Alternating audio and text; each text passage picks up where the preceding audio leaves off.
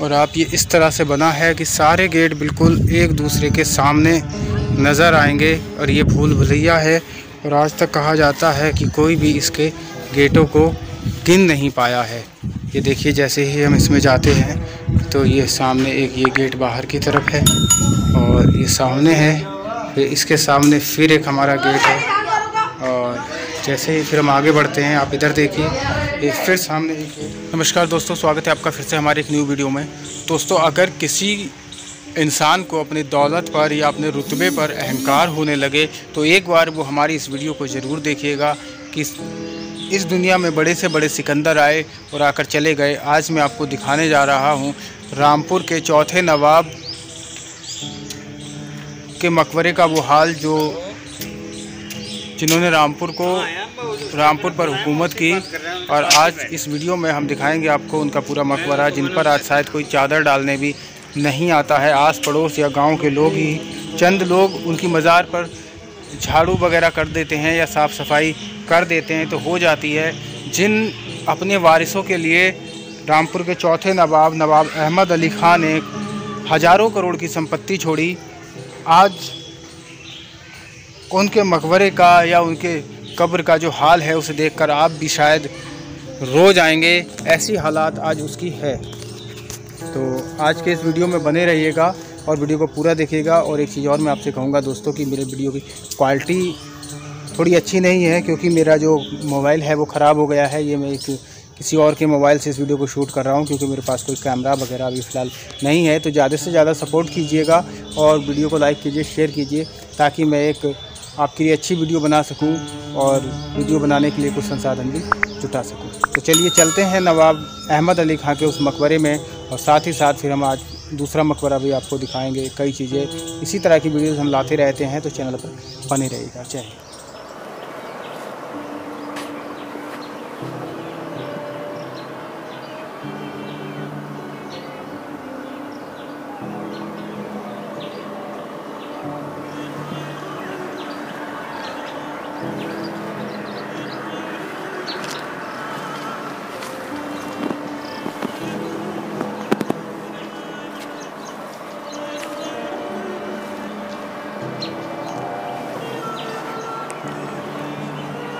ये देखिए दोस्तों, आज हम फिर से एक हैरत अंगेज़ जगह आए हैं और इस वीडियो में हम आपको दिखाएँगे रामपुर रियासत के चौथे नवाब, जिन्होंने पूरे रामपुर को बसाया और राम, रामपुर पर अपनी जो है सियासत की, उनकी हुकूमत चलती थी और आज उनका जो मकबरा है वो किस हाल में है?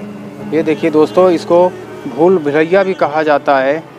आपने सुना होगा कि एक भूल भुलैया रामपुर में थी और वो सॉरी एक भूल भुलैया लखनऊ में थी, लेकिन यहाँ एक और भूल भुलैया है जो कि इसको भूल भुलैया के नाम से जाना जाता है और ये रामपुर में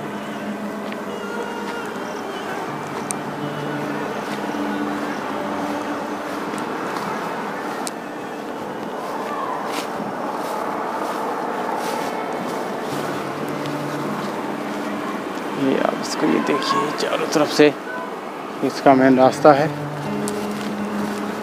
इसमें इतने ज़्यादा रास्ते हैं कि हर गेट के सामने एक गेट है और एक तरह से ये पूरी कब्र है। इसके अंदर बहुत सारी कब्रें हैं। ये देखिए दोस्तों, यहाँ आज मैं आपको लेकर आया हूँ। जैसे ही हम इस मकबरे के सामने आएँगे तो ये इसका स्टार्टिंग पॉइंट है। यहाँ देखिए, यहाँ गाँव वाले लोग आते जाते हैं और यहाँ अक्सर यहाँ लोग बैठते हैं और ये भूल भुलैया है। इसको रामपुर की भूल भुलैया कहा जाता है। इसको रामपुर के चौथे नवाब। देखते हैं कितना चलती है।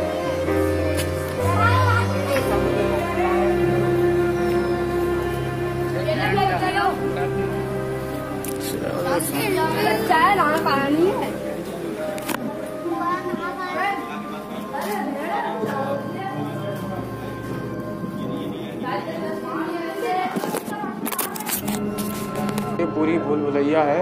और अगर देखा जाए तो ये सिर्फ़ हम इस वक्त ये सभी यहाँ कब्रें हैं। और ऊपर की नक्काशी देखिए। कितनी सुंदर इसकी नक्काशी की गई है। और यहाँ जिस गेट को देखेंगे, उस गेट के सामने फिर से हमें एक गेट और नज़र आएगा, अगर हम आगे अब चलते हैं।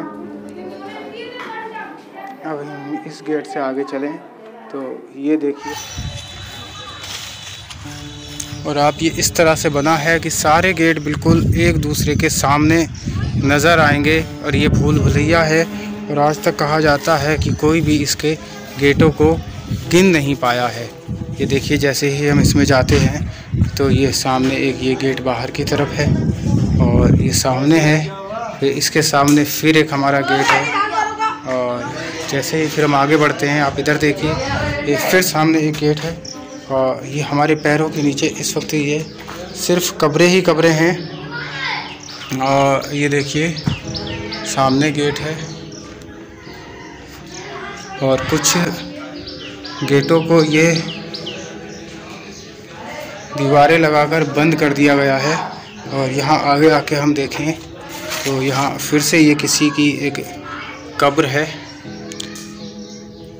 दरअसल ये मकबरा है रामपुर के चौथे नवाब नवाब अहमद अली खां का, जिन्होंने, जो कि रामपुर के चौथे नवाब थे, आप ये देख सकते हैं कि ये स... ये अंदर से बंद है क्या? ये देखिए, छोटा सा गेट है। अब मैं आपको दिखा रहा हूँ। देखिए दोस्तों, ये जो मज़ार है यही वो मज़ार है जो रामपुर के चौथे नवाब की मज़ार है। ये आप देखिए ध्यान से। और इनके साथ में ये वो लोग हैं चंद, जो उस वक्त इनके साथ रहा करते थे या ये कह सकते हैं कि इनकी कैबिनेट के खासम खास नवाब साहब के जो खास लोग हुआ करते थे, आज वो सब लोग यहाँ कब्रों के रूप में विराजमान हैं। यहाँ देखिए वो आराम फरमा रहे हैं। ये आप पूरा मैं आपको दिखा रहा हूँ। ये हाल है रामपुर के चौथे नवाब के उस कब्र का कि आज उनके पुरखे कभी एक चादर डालने भी यहाँ शायद ही नहीं आते हैं। और यहाँ साफ़ सफ़ाई भी गाँव के लोग करते हैं। एक ये दरख्त है जो पता नहीं कितना पुराना है। आप इसको देख सकते हैं।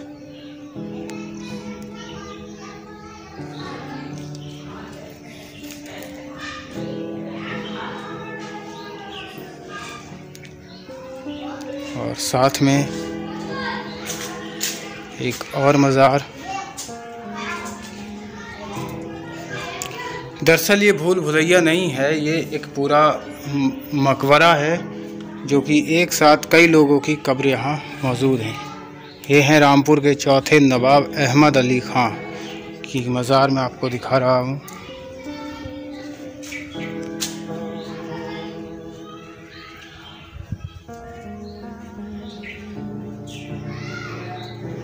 इन्होंने ही खुद अप, अपने लिए ये भूल भुलैया बनवाई थी जो भूल भुलैया के नाम से प्रसिद्ध है।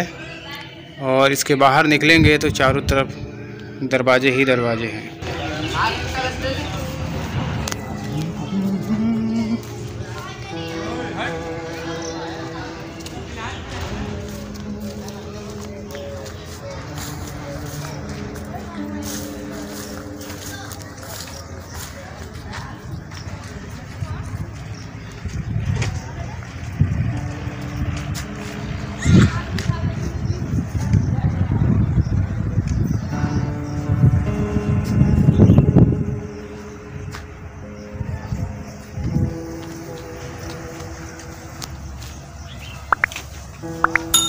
ये सामने नक्काशी।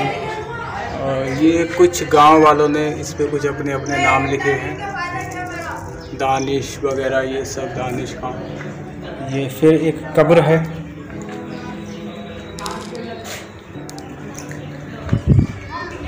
और ये यहाँ से जाएँगे। अब फिर हम एक गेट से होकर वापस आ जाते हैं। ये देखिए, हम फिर बाहर हो जाते हैं। और यहाँ से देखेंगे तो फिर फिर एक ऐसा ही गेट है और फिर उसके अंदर यहाँ से फिर ये एक गेट हुआ। हर गेट के सामने एक गेट है भाई। यार है, इसके अच्छे दरवाजे गिन लोगे भाई? है? कोई इसके दरवाजे गिन के बता सकता है?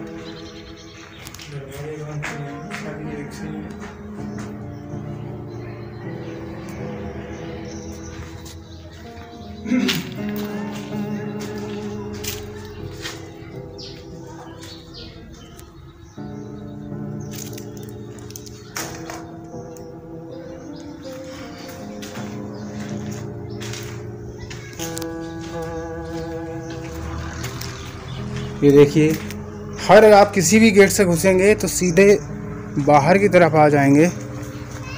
और बाहर आकर फिर अब हम बाहर आ चुके हैं। अब ये देखिए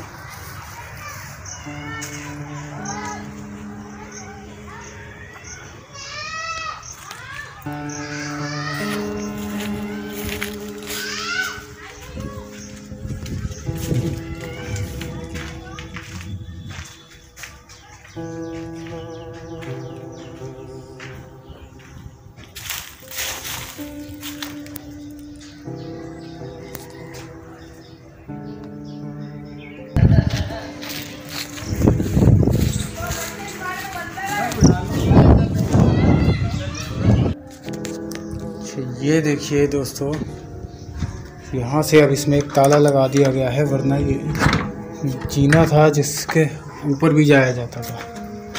इसके ऊपर जाके भी जंगल है काफ़ी। इसके ऊपर जाने का रास्ता था जो कि पूरी तरह से बंद है।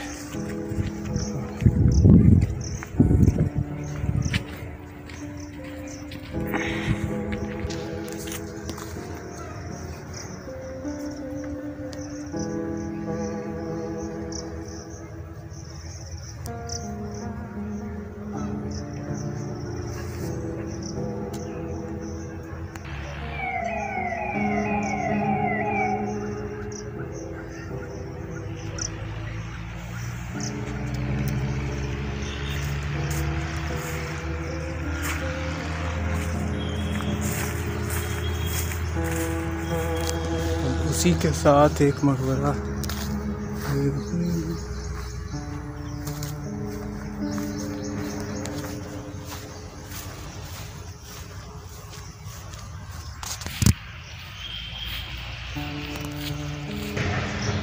जिनके अंदर गुफाएँ हैं। और अंदर अंदर भी इसके चारों तरफ़ जाया जाता है।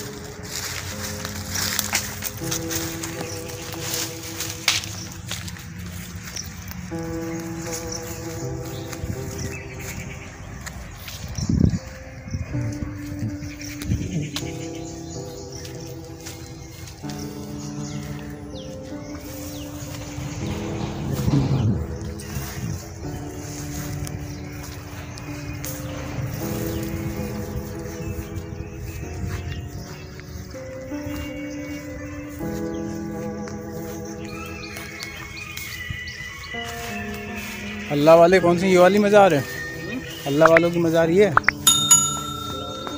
यहाँ पे मज़ार भी तो है।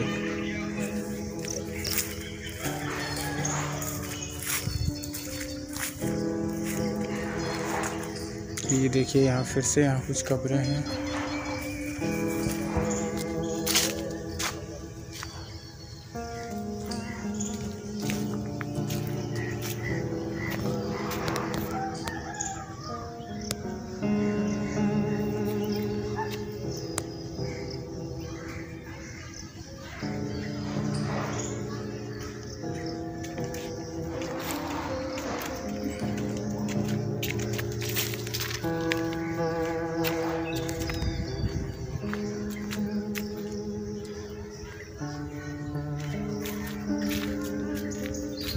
चलो इतनी काफ़ी है।